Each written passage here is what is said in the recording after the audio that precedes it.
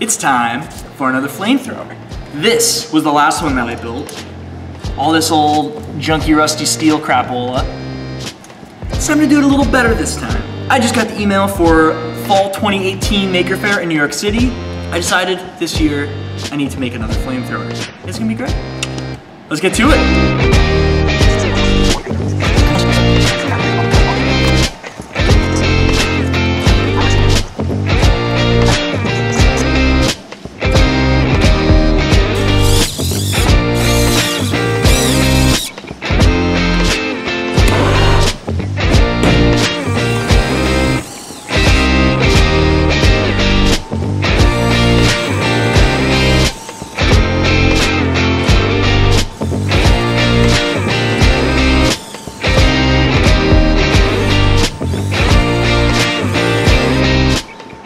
Alright, so what I've done here is just taken one of these little torch extenders for like one of these standard propane tanks. Because sometimes you don't want to carry the tank around, you want to put it on your hip and just have the torch in your hand.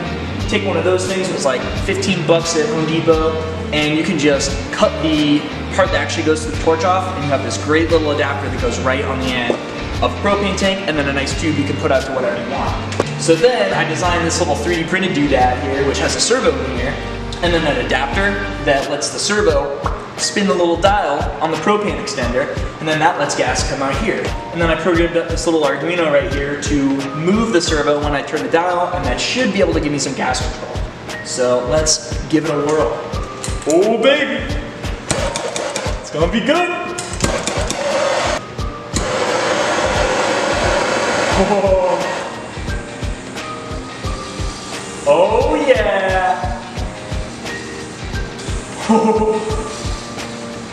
That is what I'm talking about. And I get this nice fine gas control. Oh baby. Analog control. Let's try a little liquid.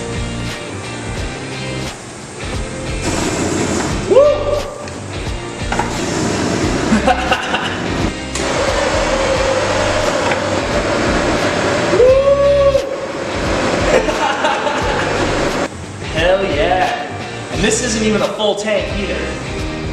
Cool. I think that's a success. Right, so we got some new parts printed. These guys are going on the back of my arm. This is where the actual gas thing goes. This slides in on top, holds the whole thing in place, servo goes here. I just put the heat set inserts in, so we're gonna put everything in there and make sure that it works.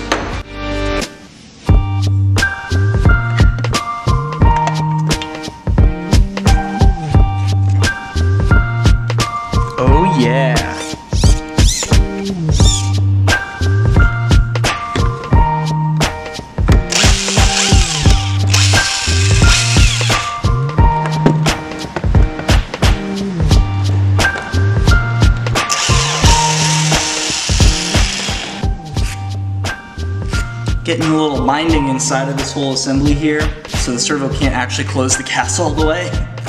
So I'm just gonna sand this sucker down, make sure that it can spin freely inside of this assembly, so I can actually turn the gas off, which I think is kind of important.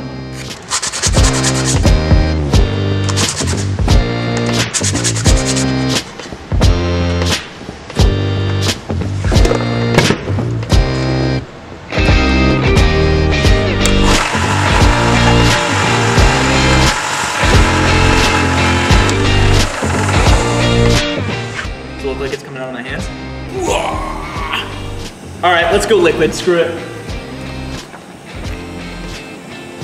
If only my landlord knew I was doing this.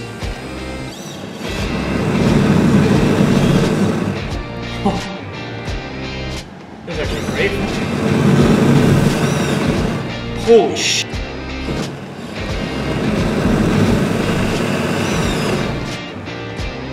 I'm afraid I'm gonna set off my uh, sprinkler. All right, I think ultimately I'll reprint this for the final one and then be a little less cavalier with how much I sand it, and then it'll probably be a little more secure on there. But this is good. I'm happy with this. I think this is gonna be all right.